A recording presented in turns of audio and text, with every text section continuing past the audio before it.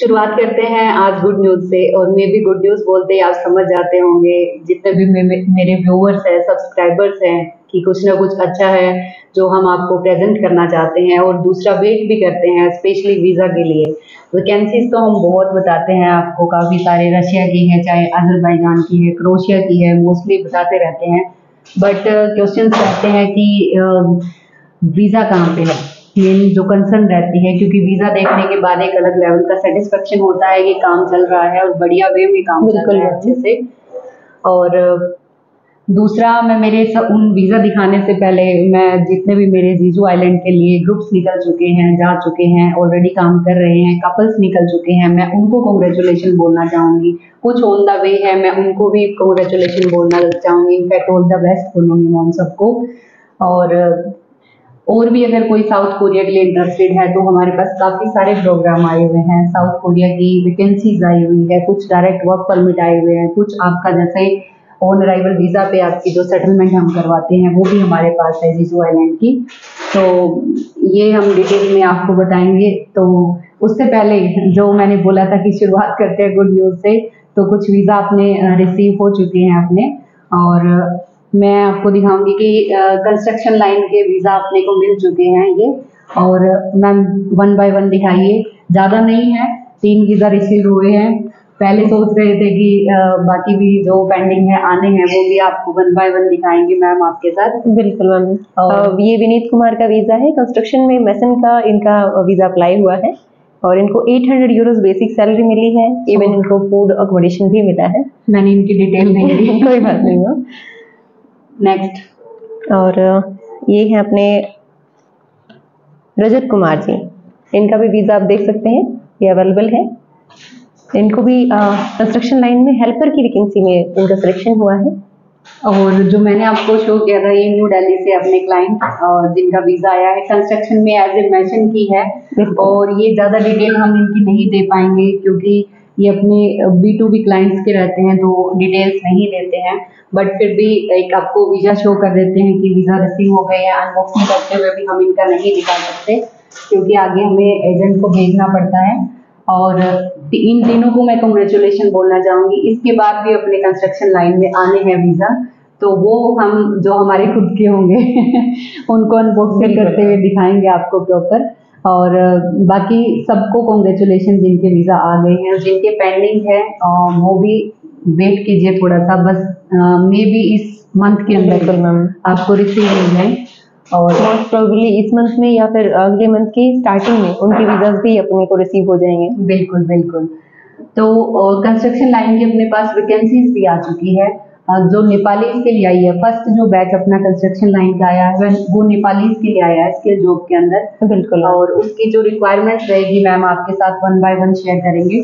तो बिल्कुल मैम जो नेपाली कैंडिडेट हैं और स्पेशली मैसन के बारे में मैं बात करना चाहूँगी तो उनके लिए one thousand euro basic salary रहने वाली है जो कि बहुत ही अच्छी सैलरी आप बोल सकते हैं अराउंड वन लाख के आसपास हो जाती है ये। उसके साथ में उनको फ़ूड और अकोमोडेशन इवन ओवर टाइम भी कंपनी प्रोवाइड करवा रही है तो ये काफ़ी अच्छा मौका है उनके लिए। इवन इसके अंदर एक बेसिक सा इंटरव्यू होता है वीडियो सिलेक्शन होता है यही सारी चीज़ें होती हैं। और दूसरा जैसे जितने भी नेपाली कैंडिडेट्स हैं मैं जिनको जैसे स्किल की अपने पास केयर गिवर की हाउस कीपिंग की और ट्रैक्टर ड्राइवर के लिए स्पेशली मैं बोलना चाहूँगी ट्रैक्टर ड्राइवर मुझे नहीं पता कहाँ पे है। क्रोशिया के अंदर ही है मैम नेपाली कैंडिडेट के लिए ही है वो भी। तो ट्रैक्टर ड्राइवर क्या ये बेसिकली आपका ड्राइविंग लाइसेंस नहीं मैं नेपाली कैंडिडेट को ढूंढ रही हूँ पे क्योंकि एक भी कॉल नहीं आई है। पहले जब ट्रैक्टर हम्म। ड्राइवर की वैकेंसी फुल हो गई थी उस टाइम पे पूछ रहे थे मैम ट्रैक्टर ड्राइवर की वैकेंसी आ गई है क्या? अभी आ गई है तो हम वेट कर रहे हैं आपका। तो जाग है थोड़ा सा जितने भी नेपाली कैंडिडेट हैं उनके लिए बहुत अच्छे अच्छे ऑफ़र आए हुए हैं अपने पास। टीचिंग वर्कर्स के लिए भी आए हुए हैं मैम और बिल्कुल लो बजट में आए हुए हैं अपने पास। तो आप अगर चाहते हो अप्लाई करने के लिए तो अपना इंटरव्यू दीजिए। एक नॉर्मल सा प्रोसेस होगा। इंटरव्यू अगर कैपेबल नहीं है देने के लिए तो हमने पहले भी वीडियोस में कहा है आप हमसे प्रिपरेशन कर सकते हो। आपके कोई चार्जेस नहीं चार्जेस नहीं होंगे उस हम्म। चीज़ के लिए। और प्रिपरेशन बेस पे आप एक नॉर्मल अपना इंटरव्यू क्रैक कर सकते हो और अच्छी एक स्किल जॉब पा सकते हो क्योंकि स्किल जॉब के अंदर बहुत सारी आपको फैसिलिटीज़ मिलेगी। और इसके बाद जो हमारा जो नेक्स्ट इंडियंस के लिए आना है वो लगभग विद इन वीक में भी हमें रिसीव हो जाए कंस्ट्रक्शन लाइन के लिए तो जितने भी मशीन हैं और जो भी कंस्ट्रक्शन uh, रिलेटेड जो भी काम आपको आता है उसमें रेडी रहिए। पीसीसी अपनी रेडी रखिए। तो आपका भी नंबर आएगा ऐसे ही जैसे वीज़ा इनके आ चुके हैं। चाहे आप मैसन हो टाइल मैसन हो या फिर आप स्टील फिक्सर हो या फिर नॉर्मल अगर हेल्पर भी हो तो भी आपका सिलेक्शन हो जाएगा उसमें कोई टफ वाली बात नहीं है। तो आप इनरोल करने के लिए रेडी रहिए पीसीसी रेडी करवा लीजिए मेन बात तो ये और सैलरी अगर आप जैसे कुछ यूरोज में नहीं समझते हैं स्टार्टिंग में तो आपकी अस्सी से नब्बे हज़ार रुपये भी ओवर टाइम आपका रहेगा अकोमोडेशन फ़ूड सब आपको मिलेगा इन जॉब के अंदर बहुत फैसिलिटीज़ मिलती है आपको। इवन आपको खाने के लिए डिनर टाइम के लिए आपको कुछ यूरोज दिया जाता है तो वो भी एक तरह से आपकी सेविंग होती है। और आगे जो नेक्स्ट हम बढ़ेंगे जो अपने पास वैकेंसी साउथ कोरिया की जो हम बात कर रहे थे वो भी अपने पास वैकेंसीज आई हुई है। वो थोड़ा सा आपको प्रोजेक्ट मैम समझाएँगे कि किस तरीके से वो है वर्क परमिट उसकी क्या क्या टर्म्स एंड कंडीशन है। शॉर्ट में मैम आपको बताएँगे डिटेल में फिर से एक वीडियो निकाल देंगे, क्योंकि आज टाइम कम है थोड़ा। बिल्कुल बिल्कुल।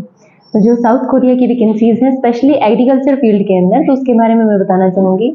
1500 यूएसडी आपकी बेसिक सैलरी रहने वाली है। एग्रीकल्चर से रिलेटेड वर्क है चाहे वो आपका नॉर्मल हेल्पर का काम हो गया चाहे वो ट्रैक्टर ड्राइवर का हो गया खेती में हो जाती है ये सारी चीज़ें तो वो सारी आपको प्रॉपरली प्रोवाइड करवाएँगे। इसके अंदर आपको अकोमोडेशन कंपनी दे रही है फ़ूड आपका मोस्टली सेल्फ रहता है। बट अगर आपने अच्छा काम किया तो वो भी आपको प्रोवाइड करवाया जा सकता है। उसके अलावा इसमें एक टर्म होती है आठ साल का वर्क परमिट रहेगा आपका जिसमें से आठ महीने आपको उस कंट्री में काम करना है। दो महीने आपको इंडिया वापस आना है और फिर आपको रिपीट करनी है ये प्रोसेस तो इसके बारे में डिटेल में आपको अगली वीडियो में बताएँगे. अभी बस इतना ही काफ़ी है. तो अगर आप जाना चाहते हो साउथ कोरिया तो आप हमसे कांटेक्ट कर सकते हो. ये काफ़ी अच्छी अपॉर्चुनिटी है. जीजू आइलैंड के लिए भी अपना प्रोग्राम कंटिन्यू फ्लो में है. अगर आप ग्रुप में, आप नेक्स्ट ग्रुप में शामिल होना चाहते हो तो आप जा सकते हो. और दूसरा आपका साउथ कोरिया का मैम ने वर्क परमिट की प्रोसेस भी बता दी. कुछ टर्म्स एंड कंडीशन है, वो हम आपको डिटेल में एक वीडियो में समझाएँगे. कि आपके main main terms and condition क्या रहेंगे इसके अंदर? क्योंकि उसके लिए प्रॉपर वीडियो ज़रूरी है। एक शॉर्ट वीडियो बोल सकते हैं आपकी भी डिटेल में डिस्क्रिप्शन उसका देना चाहिए हमें। तो अलग बनाएँगे उसको। और एक चीज़ मैं स्पेशली बोलना चाहूँगी स्पेशली क्रोशिया के क्लाइंट्स के लिए चाहे वो आप सीजनल में जा रहे हो या फुल जो वन ईयर का आपका प्रोजेक्ट है उसमें जा रहे हो।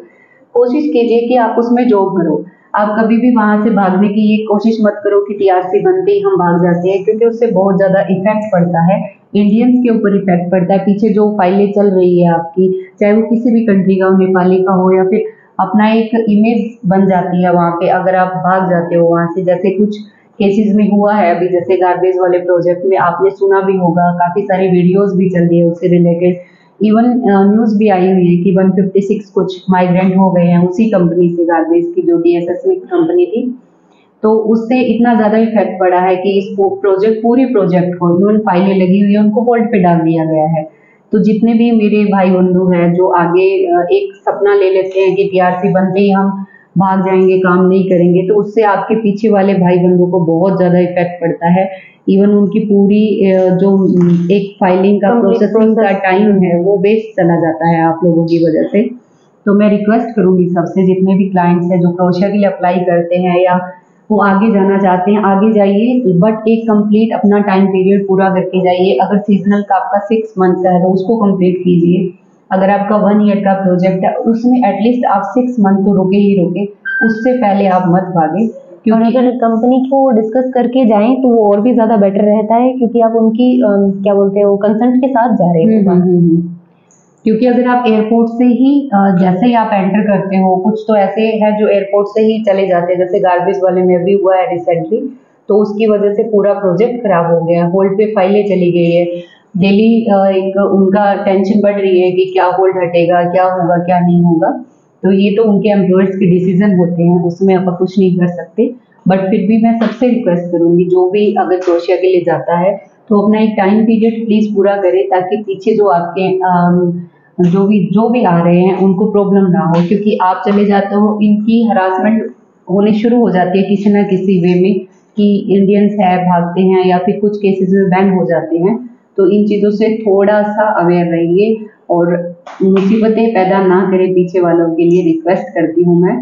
थोड़ा टाइम पीरियड लगाइए, अपना काम कीजिए, कुछ सीखिए, वहाँ पे टीआरसी बनने दीजिए, आपके डॉक्यूमेंटेशन का काम पूरा होने दीजिए।